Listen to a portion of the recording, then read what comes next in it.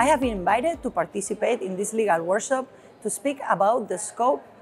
of a particular topic, the aim of punishment in international criminal law. After explaining what is international criminal law, we will focus in the topic of the conference, the aim of the punishment of international criminal law. International criminal law is different from national law in this area, as we do not have a provision revealing the objective of the law itself.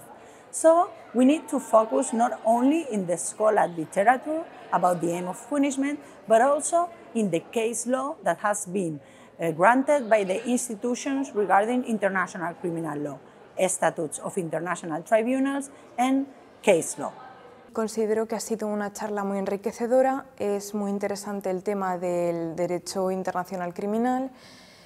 y bueno, penal y lo que posiblemente me ha faltado ha sido que no ha especificado sobre o no ha, no ha elaborado mucho sobre cuestiones más particulares y dado que nuestro profesor, el doctor Eliseo Frigol, sí había introducido temas de derecho penal internacional, ha sido una charla muy general, pero ha sido muy enriquecedora y muy explanatoria.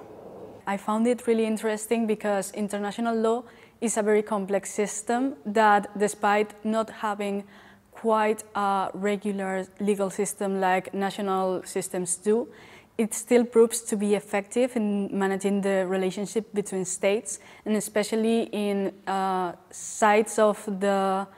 um, international law system like humanitarian law, it's very interesting to see how uh, we can put a stop to this kind of war crimes and crimes against humanity uh, somehow by uh, putting all states together for a single cause. And that's what I really enjoyed most about this lecture.